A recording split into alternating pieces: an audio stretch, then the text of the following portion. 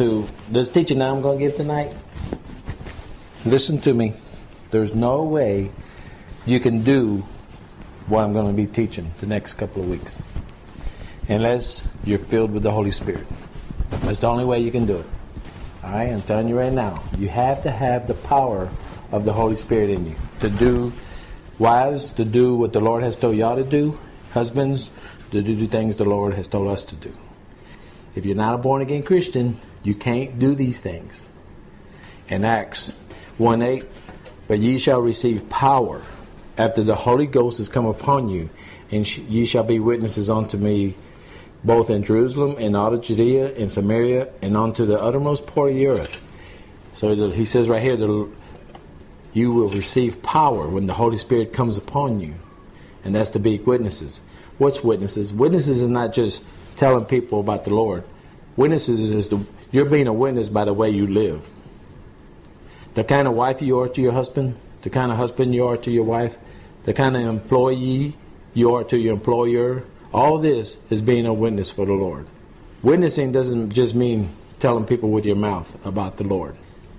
Witnessing is you living in the light and people looking at you. So being a witness is not just this. We're all witnesses, but we have the power right here. I gave you these verses to look at so you can go home and say, hey, right here the Lord says, but you shall. He said, you will receive power. So you got to believe this. You got to believe that greater is He that is in you, the Holy Spirit, than He that is in the world. That's what the Bible says. If you don't think the Lord has that much power, then you're already defeated. So um, these verses I want to show you. I want to give you these verses before we start on marriage. You will receive power when the Holy Ghost comes upon you. When does the Holy Ghost come upon you? When you get born again, when you give your life to the Lord. Luke 24 49. And behold, I send the promise of my Father upon you. That's the, speaking about the Holy Spirit. But tarry ye the city of Jerusalem until ye be endured with power from on high. Remember this because I say it over and over because I see a lot of born again Christians who walk in defeat. When they got the power of God in them, but they walk in defeat because they don't use the power. Right here, I'm giving you the scripture to show you you will receive power, He will endure you with power. We got to believe that. You got to believe that. 2 Corinthians 12 9. And He said unto me, My grace is sufficient for thee, my strength is made perfect in weakness. What's He saying here? When you're weak, His strength is perfect. That means you need to turn to Him. If you feel weak, you need to turn to Him. That's what He's saying right here. My strength is made perfect in your weakness. Whatever he says, not not just marriage, but any of these commandments that he has in here, we have the power to do them. There is there is no reason we can't do this. These words in here, they're eternal truths. These truths are forever. They're forever. They're eternal truths right here. 2 Timothy 3:16 All scriptures is given by the inspiration of God all scriptures. He just, did he say some of these? He said all scriptures, right? So that means this whole Bible is truth. This whole Bible is written by God. And is profitable for doctrine, for reproof, for correction, for instructions in righteousness. So this is the scriptures, that this is the Word of God. There's no mistakes in this Bible. There's no mistakes. There's men out there that are going around saying there's mistakes in here. Well, you have a choice. Believe man or believe the scriptures. Right here, the scripture says all scripture is given by God. Are we going to believe that? I got to get all this down before I start marriage. Do we believe that this is the inspired word of God? That this is the perfect word of God? Hebrews 13:8. Jesus Christ the same yesterday and today and forever. That's what I'm saying. These are eternal truths. These, what it says in here is for yesterday, it's for today, and it's for tomorrow. So everything we read in here is for today. Again, you have men, well, some things, some of the scriptures that they don't like, they'll say, well, that was just for back then. Right here it says the scriptures or for, to, for yesterday, today, and forever. Amen? We believe that? Now, when you don't believe something, tell me. Stop me. Don't be embarrassed if that's what you believe. Every, everything in this Bible, every word in here is for us today. Every word. There's not one wasted word in this book. Not one. The Bible has no errors, has no mistakes, and it is all of it is for today. Amos 3 3 says, Can two walk together except they be in agreement? So, what the Lord is saying, how can you walk with me if you don't believe what I'm saying? That's what the Lord is saying there. How can you walk with me if you don't believe this? The Bible. How can we walk together unless we're in agreement? Can a Christian walk with the Lord when he doesn't agree with certain commandments? If he's saying, Well, I don't agree with that. How's he how can you walk with the Lord? You gotta when you give your life to the Lord, this Bible right here, you have said when you gave your life to the Lord, I am going to believe everything in here. This is the Word of God. Also in Isaiah 55 8, my thoughts are not your thoughts, neither are your ways my ways, saith the Lord. The Lord is plainly saying, hey, what you think is not the way I think. The way you think it ought to be, that's not the way I think it ought to be. Remember, we have little fleshly minds, little bitty fleshly minds in our head. God is the master of knowing everything. He knows everything. He knows what's better for us than we do. We might think, well, I think this way is better for me. No, right here it says, no. He says, your thoughts are not my thoughts. Your ways are not my ways. And whose thoughts are better, his or ours? Whose ways are better, his or ours? Y'all understand? Do y'all see where I'm getting at?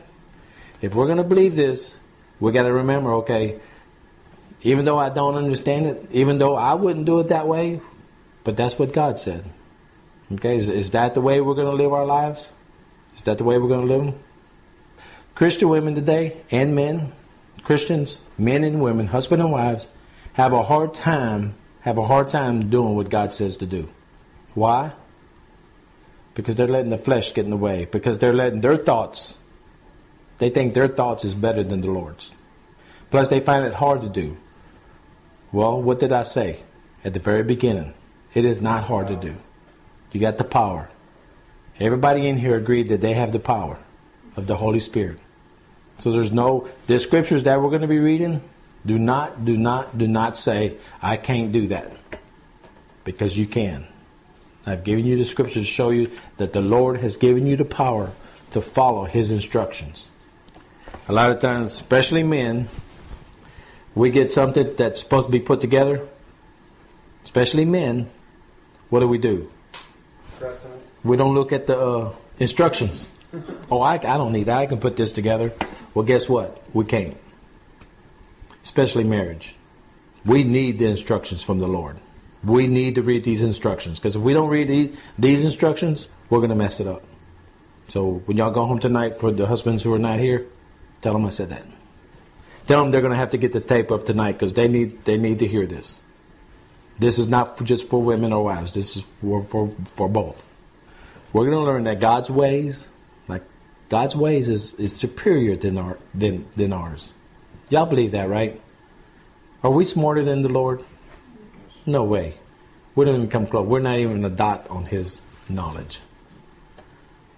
But we got to put that. We got to put that right here in our hearts and know, yes, God's ways, His thoughts are much superior than mine. Who created marriage? The Lord created. Did Adam and Eve, did they have a blood test? Don't get a marriage license? Did the Lord tell them they had to go get a blood test? Where's that comes from? That comes from man. That comes from man. Adam and Eve did not have to go get a blood test. The government, the government doesn't tell you you're married in God's eyes. Because we're going to learn in God's eyes, when are you married? All right, we're going to learn that.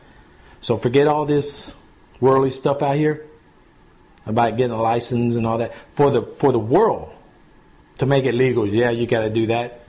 Just like a lot of things, we have to follow the law, obey the laws. So we got to go do the blood work. We got to go do those things. But this is not God's way. That's the that's man's way. Marriage was here before the government was here. Marriage was here before government. We want to know what God says, right? So that's what we're going to learn. I'm going to go to uh, Genesis chapter 2, verse 24. It says, Therefore shall a man leave his father and his mother, and shall cleave unto his wife, and they shall be one flesh. That cleave means join. So a man is to leave his mother and father and cleave, join his wife, and they shall be one flesh. One flesh. Did it say one spirit? We're not talking about spirit here. We're talking about one flesh. We're going to learn what that one flesh means. Remember, it doesn't say we're going to be one spirit, which we do. We will become one spirit, but that's not what it's saying right here. It says, and they shall be one flesh. Now, before I get started, blood covenant. Let me say something about blood covenant. There's a blood covenant between man and God. That's Jesus, right? Jesus had to shed his blood for us so we could become one with God. You understand that? Jesus had to shed his blood. And then in the Bible, it also shows that for a man and man to have a blood covenant to each other, they become brothers, blood brothers. There is such a thing as blood brothers, but in the spirit. And it, it tells you in the Bible how those two men become blood brothers. It's like it's, it talks about like I take Greg and I to, I trust him totally. I've been knowing him all my life, and I trust him totally with everything. And I want to go into blood covenant with him. Well, we do it together. Just like I trust him with everything, he trusts me with everything. We become blood. We, I mean, it talks about cutting, and there's blood in it. That's, that's a whole nother teaching. But there's a blood covenant between us and God. There's a blood covenant between man and man. There's also a blood covenant between man and woman. Now, the blood covenant between a man and a woman, this is why a woman, on her first time, she bleeds. It's called a hymen in there. The doctors have already said they don't know why that's in there. They don't even they don't know why it's in there. It's just there. They don't know why. Well, I do know why, because the Lord's told me. That's the blood covenant between a man and a woman.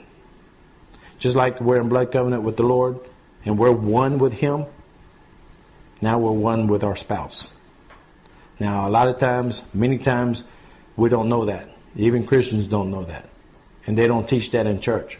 But I can teach you that in the Bible. It's in the Bible.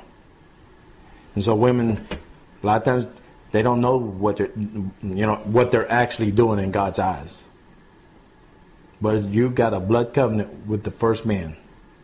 A blood covenant. Not just a marriage, a blood covenant. But Remember this. God does not hold you accountable for sins that you don't that you honestly don't know about. Remember that. Now when he does enlighten your eyes, when he does open your eyes, now you are accountable for what you do. But there's a lot of women out there that don't know this. And like I said before, they don't teach it in Sunday school and they don't teach it in church.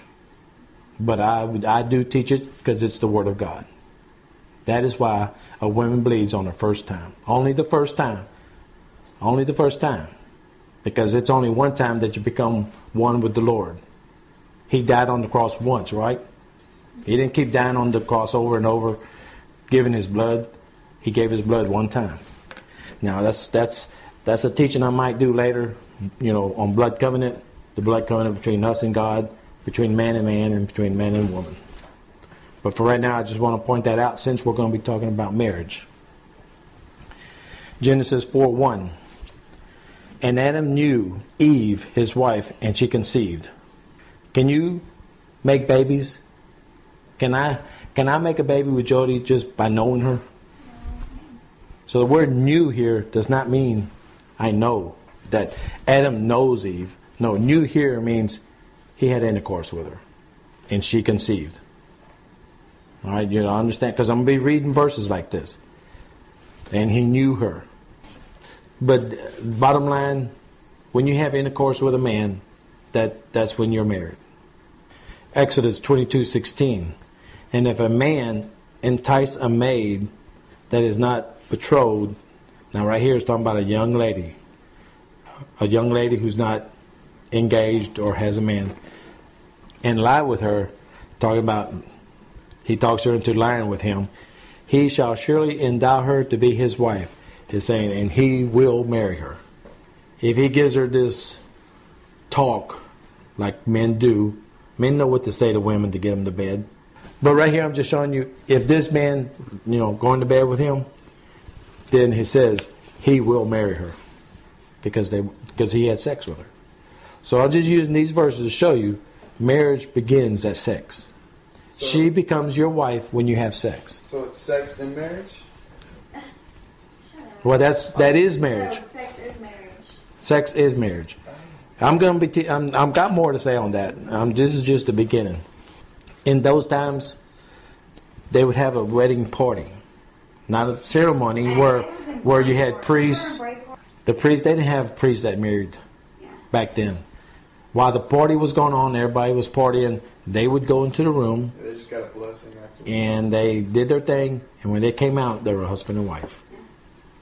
This is the way it was That's the way Indians did it a lot too. And I don't know who else does it, but I know that's the way they did it here, and that's that's what made marriage back. I'm telling you, when does marriage start? In God's eyes. 1 Corinthians chapter six, verse sixteen. Know ye not that ye, that he which is joined to a harlot, meaning prostitute, is one body. For two saith he shall be one flesh. So what did I read at the very beginning? When he said that we'll be one flesh? Well, this is what he's talking about. When you have sex, right here he's talking about a, a, a harlot. So that's how, how you become one flesh. Back in Genesis, the verse I just gave you earlier.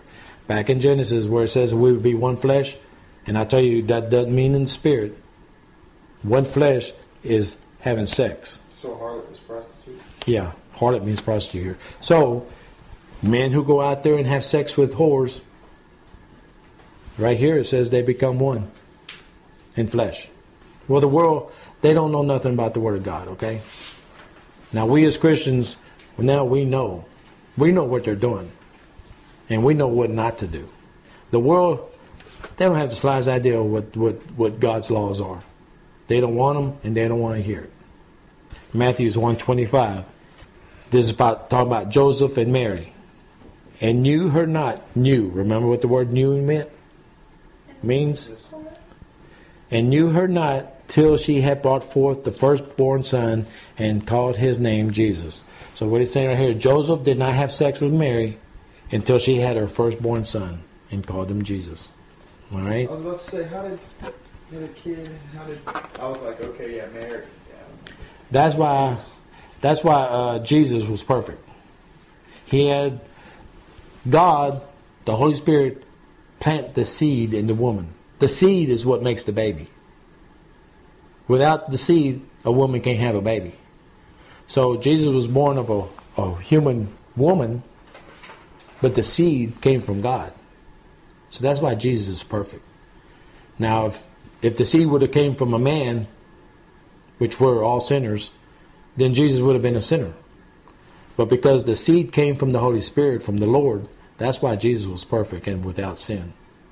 Because the seed was planted by God. Psalms 128.3 Thy wife shall be as a fruitful vine by the sides of thy house, thy children like olive plants around about thy table. So what he's saying right here, thy wife shall be as a fruitful vine. What's on the vine? Grapes. A fruitful vine. So what does that mean? That the woman is going to produce. Yeah. The women is going to produce. Some of us in here are already fruitful vines. Some of us aren't. But some of us are. But just this, this is what I'm showing you. The wife shall be a fruitful vine. So the wife is going to have babies. Genesis 1:28. And God blessed them, and God said unto them, Be fruitful and multiply, and replenish the earth. So God had to tell them, Adam and Eve. And we're gonna we're gonna see in a minute about that. But God spoke to both of them right here. He said, and God blessed them. So He blessed the man with a seed, and He blessed the woman to have what it takes to take that seed, so they could so so they could be fruitful and multiply.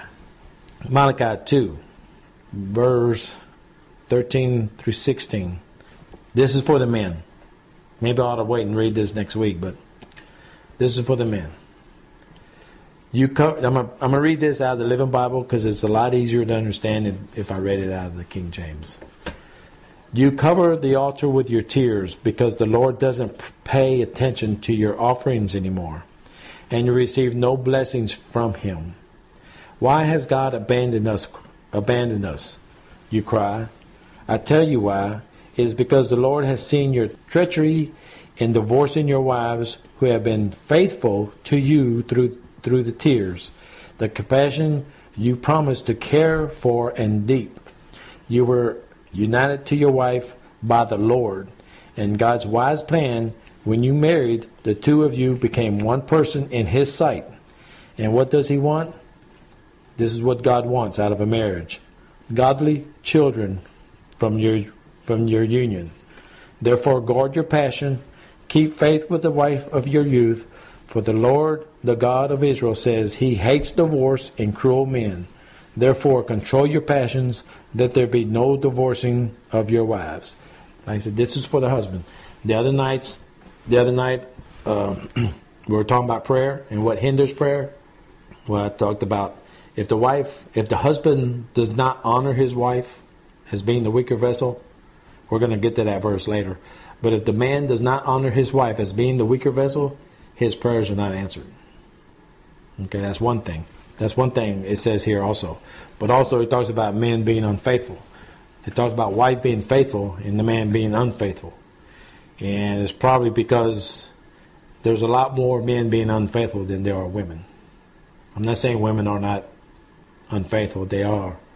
But men, we do it more than women do. And that's just a known fact. But he says the two, what the Lord, what's, what's he want from the two? He wants us to produce children. So what I've been reading you is we're supposed to have children. If you're guilty of doing this, of maybe being unfaithful to your wife, or you're not honoring her, guess what? All we need to do, I always say this, if this, if if I mention anything, any of these things in here, if I mention them to you and you're guilty of it, all you gotta do is ask the Lord to forgive you from here from the heart. I've always said from the heart. Okay? Because the Lord will, if you're praying from the Lord and from the heart, on whatever its sin it may be, the Lord will forgive. Remember that the Lord wants to forgive you. But you got to have the heart, the heart to ask for forgiveness. And he will forgive. Now, Genesis 2:16. Now listen, women, this is kind of on your part. And the Lord God commanded the man. Now, a while ago, I, I showed you where God talked, He said to them, He talked to them, to, the, to Adam and Eve. Remember a while ago, the verse? He, he told them to multiply. Right here, that's why people miss a lot of times. And the Lord God commanded the man, saying, Of the tree, of every tree of the garden thou mayest, they mayest freely eat. He told the man, he taught the man this. He told the man, this is what, is what. Adam's job was to teach Eve. And like I've, I've said always, it is our responsibility to make sure our wife and our children know the Lord. We need to know this. When right here is showing you, God didn't say He commanded Adam and Eve, or He didn't say, and I command them. He said, I commanded the man. He told the man this is what you do or you don't do. Because the man is the head of the house. Did I say the boss of the house? Big difference between boss and head. Big difference. In 1 Peter 3 7, which is the verse I was talking about a while ago. Likewise, ye husband, dwell with them according to knowledge, meaning understanding, giving honor to the wife, meaning respect the wife, as, a, as the weaker vessel and as being heirs together of the grace of life. Remember that God's grace is equal. Remember this that your prayers be not hindered. So, men, like I said a while ago, if you want your prayers to be answered, honor your wife. What it says right here. Excuse me. And the reason, like I said before, the reason he called the women the weaker vessel, and I've said it before, it's not because y'all are less spiritual, because I've seen a lot of women that are more spiritual than men. Doesn't mean physically either. Because believe it or not, I've seen women who are stronger than men physically. This is the reason I say it means they're the weaker vessels because Eve was the one who was was uh, tricked, not Adam. We're going to see that. Hate to use the word, but y'all are just a little more gullible than men. Okay, I don't know how else to put it, but Eve is the one that listened to to the devil, and it wasn't Adam. But I'm going to show you why. Because she listened to the devil instead of her husband. that was wrong. Anytime you listen to, well, Galatians 1 8, it says, But though we, no, we here is men. I'm just using this verse. We means men. Or an angel from heaven. Angel here means the fallen angels. Y'all with me? It's talking about men and fallen angels, demons. But though we are, are an angel from heaven preach any other gospel unto you, then that which we, we have preached unto you, let him be cursed. So Lord's saying, He plainly says, anybody who comes to you, whether it be a man or a demon, pre- preaching another gospel, they will be cursed. The devil was preaching another gospel. Adam taught Eve, do not eat of this fruit, because that's what God taught Adam. But Eve listened to the devil, and the devil said, oh, then nothing's going to happen. It's okay if you eat that fruit. And she listened to the devil. Are y'all with me? She listened to the devil. Eve did. And this is why the Lord has called the woman the weaker vessel. Adam was not there. It was Eve. Genesis 3:16. Unto the woman he said, now this is he gave he he cursed the devil for doing it. He cursed the woman for listening, and he also cursed Adam. Because who's the head? Adam. See, our responsibilities are very, very important. Very important. It is our responsibility that our, our wife and our children know what's right and wrong. But because Eve did it, Adam still got punished. Adam didn't, Adam, the devil didn't fool Adam, but Adam got punished also. He was the head. The Bible plainly says, shows that if the man is the head and whatever the wife is does, he's God's going to hold the man for it. Just like y'all are held accountable for teaching, for teaching us. Right. Uh, which I'm gonna show. I can show you other places in the Bible where God went to the man. It was the woman's fault. It was the woman who did something wrong, but God went to the man.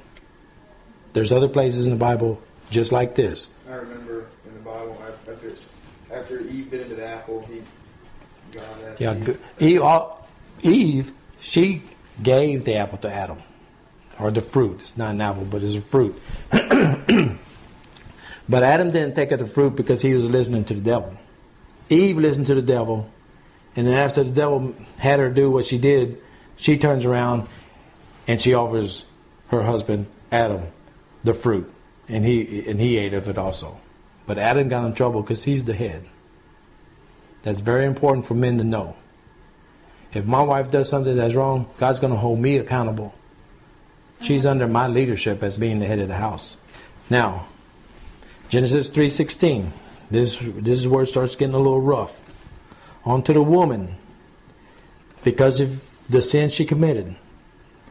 He said Genesis 3:16. On to the woman he said, I will greatly multiply thy sorrow and in thy conception and sorrow shalt thou shalt bring forth children.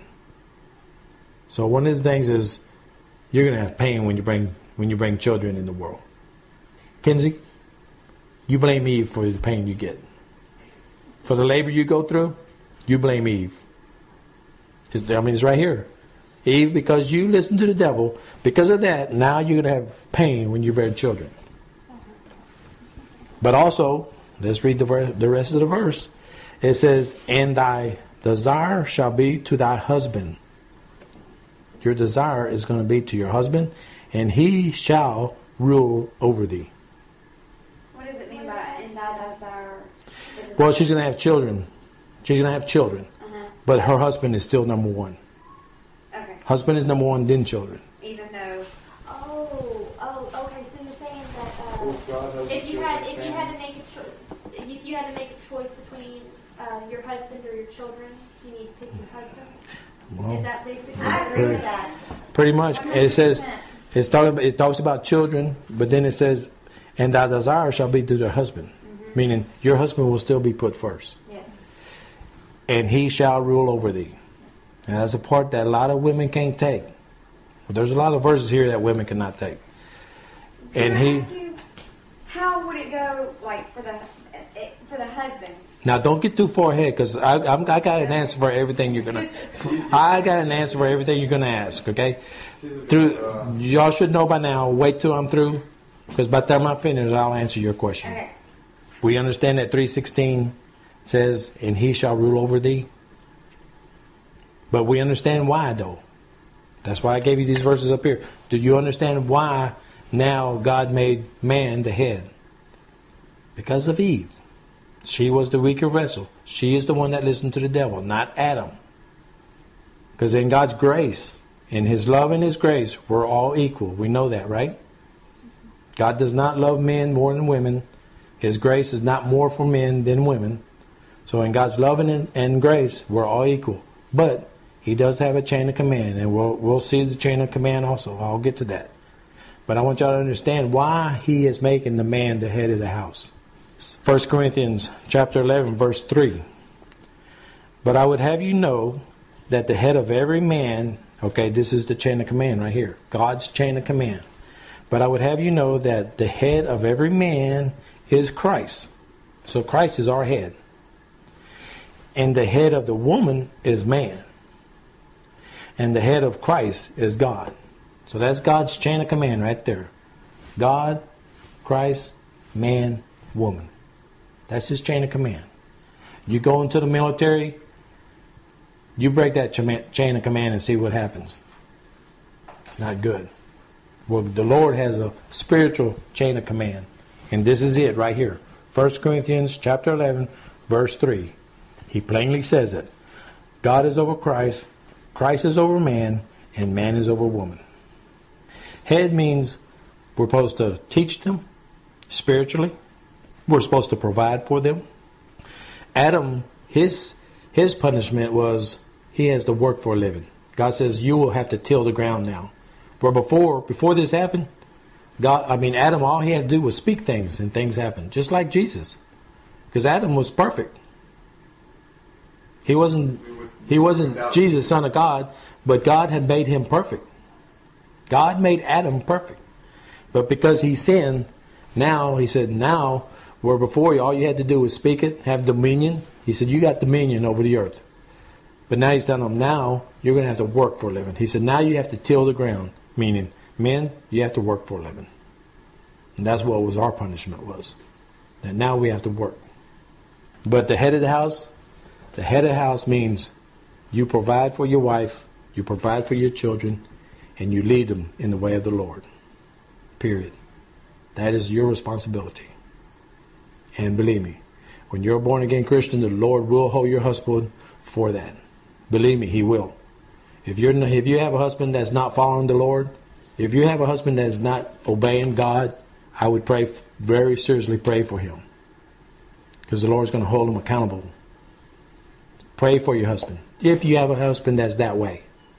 Now, if your husband, if he is, if he does obey God and, he takes the head of the houses as God says to put it, then you're in good hands.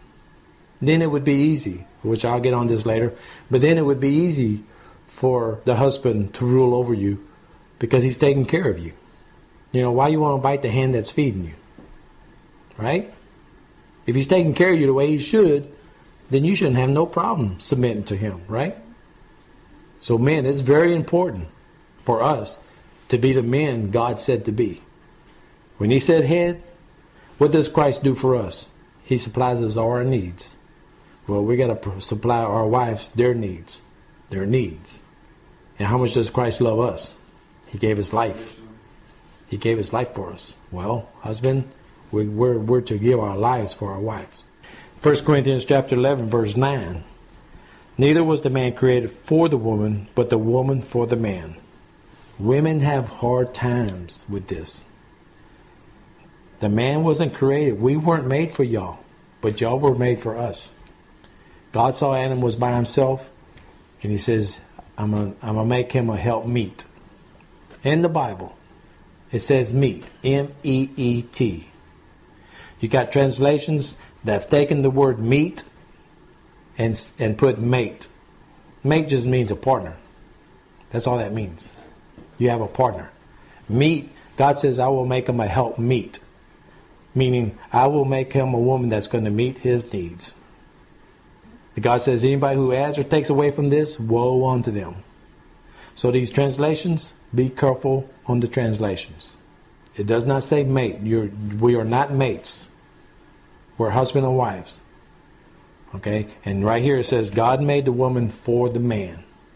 That's why I'm saying, that's why I got started the way I did. Are we going to believe everything in here? Christian women know they need their husbands. And, but let me tell you this I know I need my wife. I'm the head of this house. And my wife knows that. She'll, if she was in here, she'd say, Yes, I am the head. No doubt. But I can tell you in front of her, I need her. I need her also. I don't I don't go around with, you know, like, you need me. I don't need you. No, I need my wife. And a man of God will tell you the same thing. We need our wives. The Lord has put you here to help us. To really, to, I mean, really, I need my wife, and and there's times I'm glad she's here. Okay, I'm glad she's with me. So it's not like we don't need y'all, or we do need y'all. And not just to meet our needs, if you understand what I'm saying. Not just for that. So if there's any men out there who think, oh, I don't need women, uh, well, you're not a man of God. Because men of God need their wives. God put you here for us, so we need you. If we didn't need you, God wouldn't have made y'all. But we do need y'all. We need our wives. And a lot of times, I see it. A lot of times, the wife is the backbone of the family. It shouldn't be that way, but I see that a lot, where the woman is more of the backbone than the man is.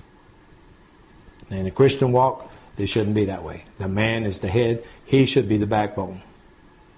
But we're learning here tonight, our wives should lean on us. Okay? Just like we, we lean on them, not the way they lean on us, but we lean on them also. Like we're going to read several places where it talks about submission. Submission in the Bible, really, women, submission in the Bible is a beautiful word. It really is. If you look at it right, it's a beautiful word. when we submit to the Lord, when we submit to the Lord, how blessed are we? Doesn't the Lord bless us tremendously when we submit to Him? Same thing. Same thing. In a, in a, in a Christian marriage, women, you submit to your husband, it's going to be a good thing. If it's a Christian man and he's doing what God says to do. All right? Now, if you got married, if you became a Christian after you got married and you have a man that's not godly, pray for him. You need to pray for him. Pray that the Lord will, will save your husband. And it says if you have a husband or wife, either way, if the husband or the wife, the Bible says if one of them is not a believer, then to keep living your Christian walk. Because by the way you live, that, that may reach the lost spouse, whether husband or wife. So, husband, if you married a wife who wasn't a Christian, or a wife, if you married a husband who wasn't a Christian, it says, he didn't say to leave him. He didn't say to leave, to leave him. He says to keep on living your Christian walk, and your spouse, whichever it may be, may, may be saved by the way you live. God will give you the power to live with that spouse, man or woman. You just got to use it. If you don't use it, then you're going to be very depressed, upset, and unhappy. Ephesians chapter 5, verse 22 through 24. Wives, submit yourselves unto your own husbands as unto the Lord. That's a big one right there. Wives, now listen to me. Now listen to the word. Forget that I'm a man. Forget that I'm a man, okay? Try. Try to hear what God is saying. Wives, submit yourselves unto your own husbands as unto the Lord. So if I'm if I'm, counseling with a marriage couple, and I see the wife is not submitting to the husband, already I know she's not submitting to the Lord either.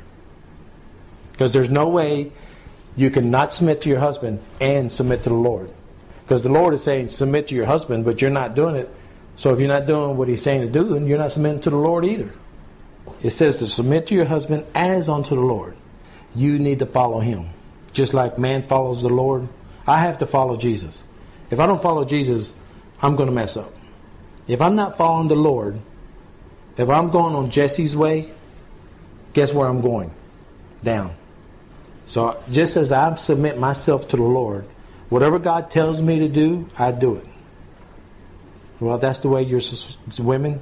You submit to your husband, just like, just like you listen to the Lord. You listen to your husband, because if you're not listening to your husband, God said, God said. That's why I'm saying, forget that I'm a man up here speaking. God said, women, if you don't submit to your husbands, you're not submitting to me either. These are strong things for the women, but believe me, men, our responsibilities are much, much, much higher, much stronger in the Lord than submitting. What y'all have to do, what women have to do is submit to us, that is really very minor compared to what God holds us responsible for. Hope you understand what I'm saying. What he's not a Christian? Unless He asks you to do something that's not in here, That's kind of That's against- That's kind of what I'm saying. that's against God's will. Okay. If he says, let's go get drunk, okay? If he says anything, if he's wanting you to do something that's against God, which I was going to get on that later, but you don't, you're not going to wait, so I guess I'll go ahead and start now. There's submission. You could, you could submit without being obedient.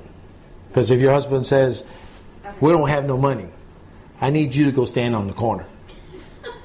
Well, what you say to your husband, now this is this is submitting but not obeying. What you do is say, babe, honey, whatever you call them, I love you. You know I love you. But this is against my God and I can't do it. You're not obeying them, but you're submitting. Now, if you go and say, well, you know good, blah, blah, blah, blank, blank, blank, but then you're not submitting nor obeying. So there's a way, women, if your husband's asking you to do something that's not of God, there's a way you could be still be submissive to him and not obey them. Now, husbands, now usually I, I usually say this at the very beginning. Husbands, don't listen to what your the wife role is, and make sure she does her part. When I get to the husband part, husbands listen. Same thing with the wives. Wives, when I talk about husbands, you can turn off your ears because it's not for you. It's for your husband. Because a lot of times we like to point the finger. Either way, husband or wife, you like to point the finger and say, hey, God said, well, no, we don't do that. This teaching is not so you can point fingers at each other. Well, you're supposed to do this or you're supposed to do that. No, because that's not Christian. We're not being Christian at all. When I say things about the husband, husband, you listen. When I say things about the wife, wives, you listen. But for sure, whatever you do, don't go home and start pointing your finger to whoever, the spouse, and say, well, you're supposed to. No, that's not what God said to do. Wives, I can always tell a wife if she's submissive to the Lord by the way she's submissive to her husband. That's all I have to do. That's all. If I counsel married couples, the first one I'm going to go to, I'm not even going to talk to the wife. I go straight to the man because that's where the head is. If there's trouble in the family, I'm going to the head of the house. And if when he talks to me and I see it's from him, I'm appointed. Where this this the Bible says you blah blah blah. Okay, but I'm going to the man first. I'm not even going to talk to the wife because it's the man's responsibility. Just like Jody and I, if we get an argument, it is my responsibility to make things right. It is mine. Whether I'm right or wrong, I go to Jody and I tell her I'm sorry or I apologize. Whether right or wrong, if our marriage is not right, if we're fighting, then it is my responsibility, the man's responsibility, to make it right. Not the woman. I wish y'all's husbands were here. But it's the man's responsibility to make things right in his house, not the wife. The best thing for you can do for your husband is pray for him. That's the best thing you can do for him. But if you're going to try to correct them yourself, you're going to make things worse. Okay? Do not think you can change your husband. You cannot change your husband. The Lord can change your husband. That's why I say pray for your husband. Verse 23 For the husband is the head of the wife, even as Christ is the head of the church, and he is the Savior of the body. Just like God is over the church, that's the way the husband is over, the, over his family, his wife. Now, if you have a church that's a true church of God, they're gonna they're gonna obey God. They're gonna submit to the Lord, right? Well, that's the way wives are to, are supposed to be to their husbands. The Lord takes care of the church. Well, husbands, we take care of our wives. Verse 24 Therefore, as the church is subject unto Christ, so let the wives be to their own husbands in everything. Now, everything. Remember, remember what we talked about a while ago? Everything that is here in the Word, in the Bible. Like I said, if, he's, if he wants you to do something that's wrong, that's not of God, that, that's not what he's talking about. Everything. Well, my husband told me to go sell my body. Well, no. Well, it says right here I, I have to obey him in everything. No. No. When you read the Bible completely, you'll see that that's not right. When he says everything here, he's talking about everything that is right. Now, we're talking about a Christian husband. So if you have a Christian husband, he's not going to ask you to do these things. In verse 23, it didn't say that the woman is the savior of her own body. It said the husband is. The Lord, women, the Lord has, if you can read this from Genesis to Revelations, you can read this Bible from Genesis to Revelations, and you will find that God always had a man over the woman. There is no such thing as women being independent. That's why it says, your, when your husband, when you're married, your father gives you to your husband. You go from your the male authority of your father to the male authority of your husband. And on the book of Ruth, when we studied the book of Ruth, what did I show? When the husband dies, if the husband dies, the book of Ruth teaches this. If the husband dies, she either goes back to her father or to the brother of the husband, but she goes to the to the next male kin. That's all through the Bible. So, and that's God's way. God does ne- has never meant for women to take care of themselves. Never. It's nowhere in here. So right here it says that He is the Savior of the body. We are to take care of you always. There's no such thing as women's independence. Not biblically. Not biblically. My daughter, not this one, but my other daughter who is a Christian, I've told her, I said, your responsibility is to find a Christian man and get married. God didn't say for you to go go to college, get you a job, and take care of yourself. Now I'm telling my daughter this. Why? Because that's the way of the Lord. God says, women, find you a Christian man and you let him take care of you. And that's God's way. It's a sin for women, which they do today, having babies without the man. That is a sin. That is not the family to God. The family to God, husband, wife, and babies. Not just mother and babies. So women who are out there having babies without the man, it is against God. It is against God. Listen to me. It's against God. It's, it's a growing thing. It's more and more. It's happening more and more. But Christian women, listen to me. That is not the way of God. If you're not pregnant for whatever reason, if God not has not allowed you to have a baby for some reason, we don't know what it is, but that's if you're if you're free and you're having intercourse with your husband and you're doing what you're supposed to do and you still don't have babies, well, the Lord maybe has something else. Maybe there's a reason. I don't know. I don't know everything. All right? I don't know everything. But women, God, I've already showed you. God wants just wants y'all to have babies. Now there's there's physical problems with some women and because of the physical problem they can't have babies. They're not disobeying God because it's a physical thing. But for women who say, I don't want babies. I don't want to get pregnant. I don't want to have. No. You're going against God. God said, "Hey, women, multiply, have babies," and we're gonna we're gonna get more on that. There's I'm gonna be a lot more on that, but it's already getting late, so I'm gonna go ahead and stop here. But there's no such thing as women being independent, and I hate to say this, lost women, I can understand it coming from them, but I see it coming from Christian women also. That's why I'm saying at the very beginning of the class, are we going to obey this? Because there's Christians out there who are going to say, well, yeah, but that, when you say, yeah, but, and you find some excuse why not to obey God, you see what I'm saying? When we decided to become Christians, we decided to obey the whole Bible. The Bible, the Word of God. And it sounds like, man, man, the Lord's really down on women. No. The Lord loves y'all. That's why He put the man over you so you wouldn't have to work for a living. All you got to do is love your husband and love your kids. That's pretty good. I mean, I don't know why women look at that as being hard to do. Especially if you have a, a godly man. If you have a God fearing husband, man, you're you're in good shoes. You're in good shoes. There's women who don't have that. But a woman who has a man who fears the Lord, all she has to do is be obedient to her husband. That's it. To listen to him. And if he's a God, if, if he's a man of God, that's not going to be hard to do.